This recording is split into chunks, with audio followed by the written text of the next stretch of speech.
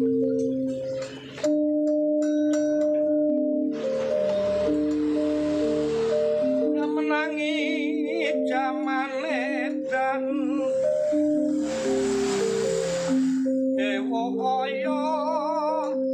kita berada di tepi sungai Beratas. Kita menuju ke kediaman Sidik.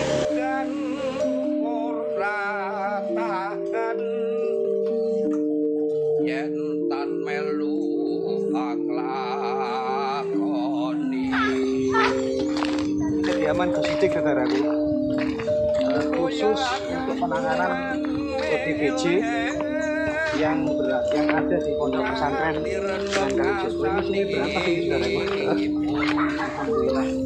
Tapi sebelum kita nanti sopan menemui beliau Gus Sidik yang mana beliau adik daripada Gus Nurul yang mana penanganan khusus dari saudara kita eh, ODGJ yang ada di pondok pesantren Sunan Kalijogo ini ini loh saudara. Tuh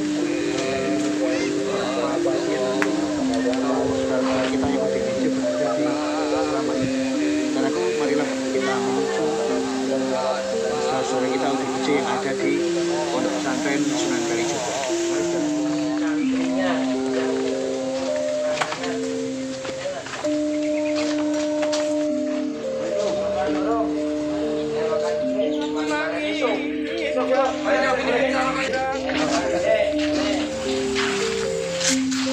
ini adalah kita ODGJ yang dalam proses penyembuhan yang dilakukan oleh Gus Sidik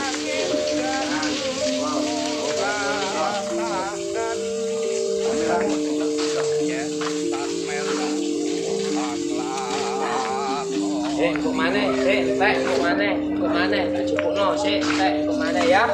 Sabar ya. Ya. Eh.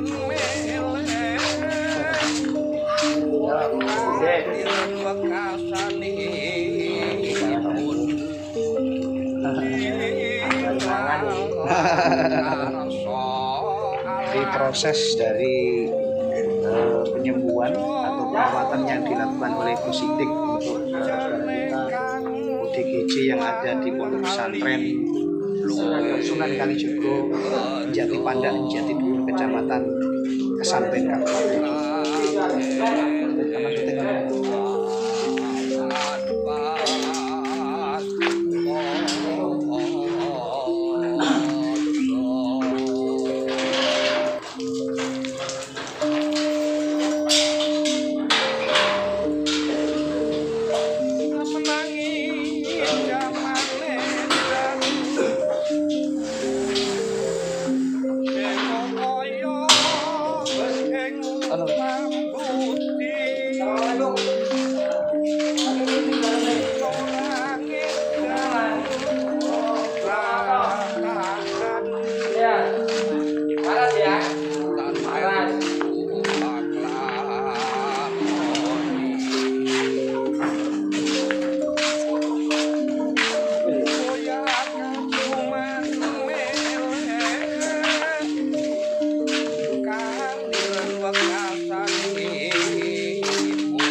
Ini Kang ya.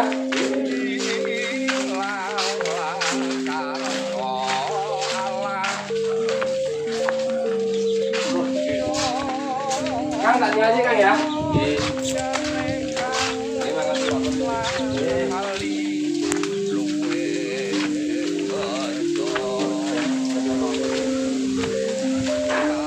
Saudaraku, Alhamdulillah saat ini saya berada di eh, kediaman atau mohon maaf padepokan dari beliau Gus yang mana Gus ini saudaraku eh, adik dari beliau Gus pengasuh pondok pesantren Sunan Kalijogo Jati Pandak Jati Dulu Kesamben Jombang. Alhamdulillah saat ini eh, saya bertemu dengan beliau yang mana saudaraku setelah eh, sebelum nyampe sini tadi eh, saudaraku saya tunjukkan eh, pemandangan atau situasi dari pondok pesantren Sunan Kalijogo yang mana di situ ada saudara-saudara kita eh, OD ODGJ. ODGJ. Jadi di pondok pesantren Sunan Kalijogo ini saudaraku eh, ada metode pembelajaran Al-Quran, mengaji dan sebagainya diniyah dan juga ada ada sholat hikmah juga. Dan juga ternyata ada saudara-saudara kita UDGJ yang mana di pondok pesantren Sunan Kalijogo dalam proses penyembuhan dalam proses penyembuhan. Nah, untuk proses penyembuhan penyembuhan dari saudara-saudara kita UDGJ yang ada di pondok pesantren Sunan Kalijogo ini saudaraku eh, khusus penyembuhan eh, dilak- dilakukan oleh beliau eh, Gus Sidik. Nah, maka dari itu saudaraku nanti kita akan eh, minta informasi terkait dengan saudara-saudara kita ODGJ yang telah banyak disembuhkan eh, oleh beliau. Saudaraku, ini mohon maaf sekali lagi eh, Gus Sidik, bagaimana kabarnya? Berikut kabarnya Alhamdulillah. Gus Sidik ini untuk khusus yang ODGJ deh. ini luar biasa. Bahasa saya ini gak sembarang wong. gak sembarang wong. Ini butuh eh, penanganan khusus atau ilmu ilmu khusus yang tidak dimiliki oleh semua orang. Jadi mohon maaf Sidik, saya eh, kepingin mendapatkan penjelasan atau informasi terkait dengan bagaimana cara penanganan panjenengan Sidik terkait dengan penyembuhan dari santri-santri ODGJ yang ada di Pondok Pesantren Sunan Kalijogo. Monggo Sidik. orang bilang orang gila orang stres Hakikatnya. kan belum mampu belum mampu belum mampu ujian.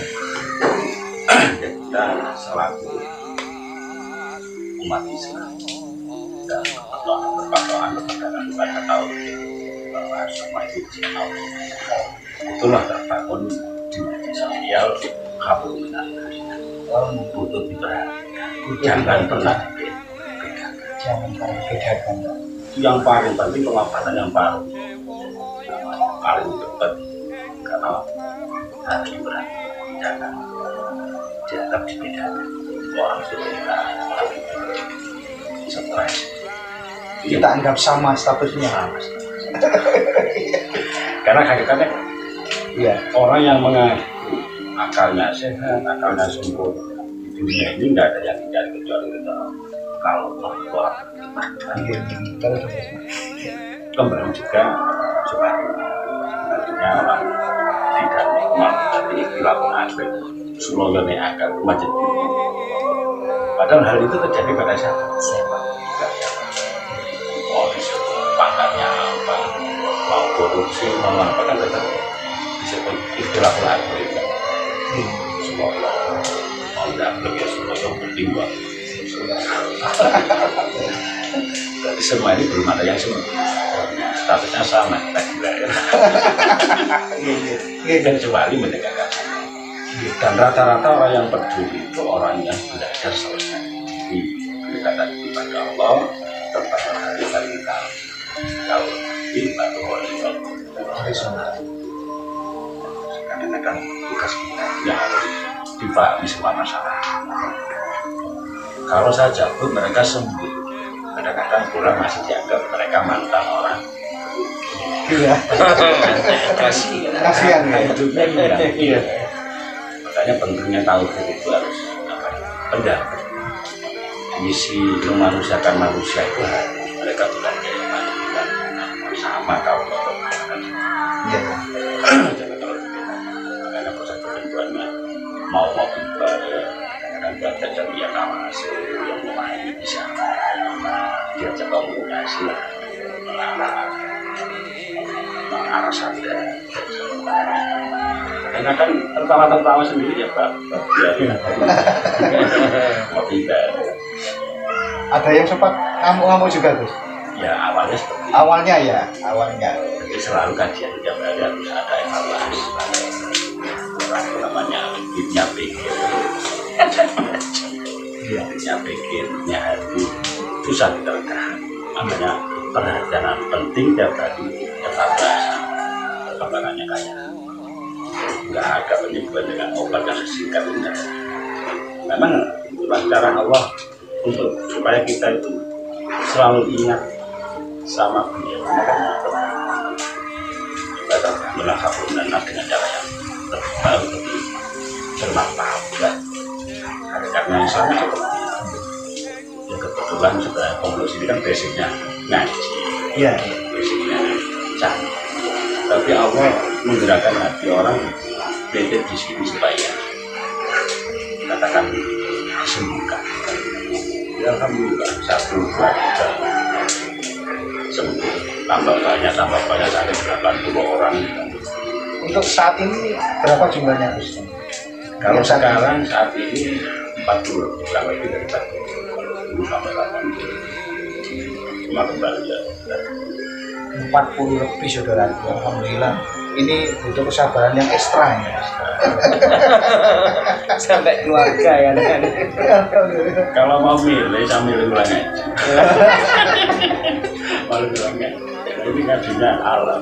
Kasusnya beda beda ada mau nikah nggak jadi nggak tahu uangnya habis. Kadang-kadang ada usaha untuk kerja di luar negeri dikirim di rumah. Ternyata nggak dipikirkan rumah malah habis. Semuanya macam-macam potensi semua itu bisa gila. Jadi siapa pun anu potensi. potensi bisa. Jadi semua itu bukan hal yang baru. Semenjak kita mau mengambil pelajaran dari mana dan seperti caranya mengenal diri sampai kembali ke masyarakat mencoba. Memang dari pelajaran belajar vertikal baru selesai. Rata-rata orang yang peduli memang orang yang sudah belajar belajar. Sadar ya inilah bagian-bagian dimensi yang harus dipecahkan untuk semua umat karena tugas saya. Alhamdulillah. Berarti anu Gus eh, untuk di tempat jenengan ini kegiatannya apa saja Gus? Ini?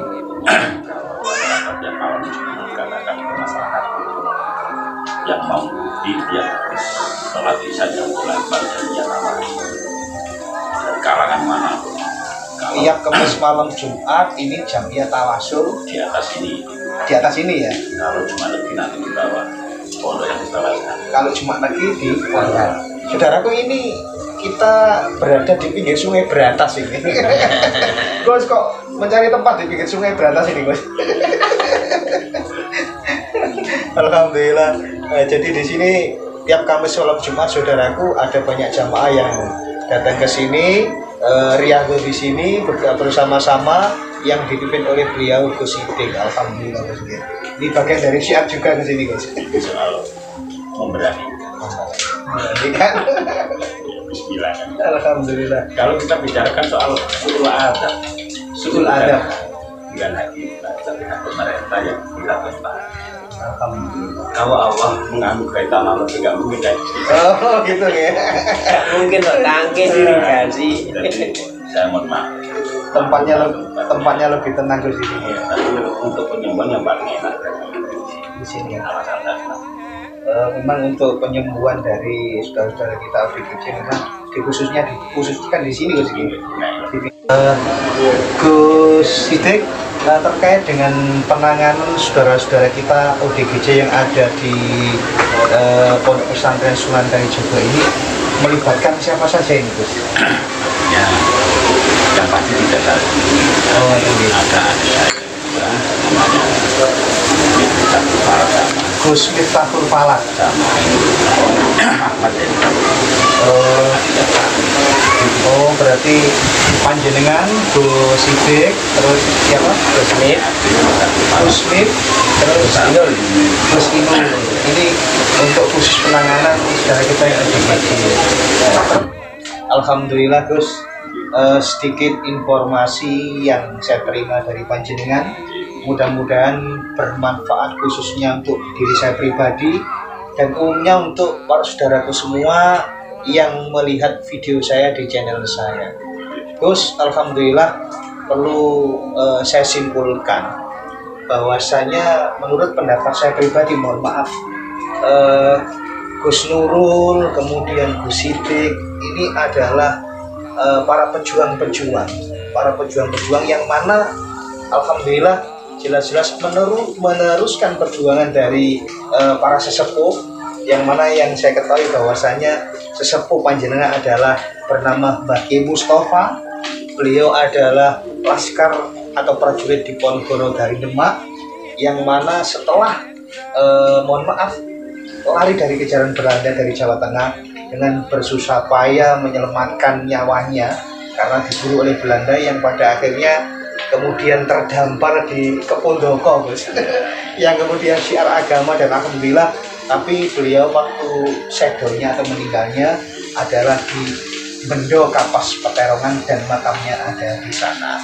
Saudaraku yang berbahagia, itulah pertemuan kita di video saya kali ini. Mudah-mudahan sekali lagi bermanfaat untuk kita semua. Dan yang paling penting, kesimpulan dari beliau Gusidik adalah khairun nas anfa'um linnas.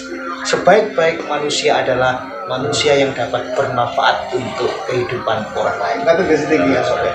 Sekali lagi saudaraku, saya akhiri Allahul muwaffiq ila. Wassalamualaikum warahmatullahi wabarakatuh.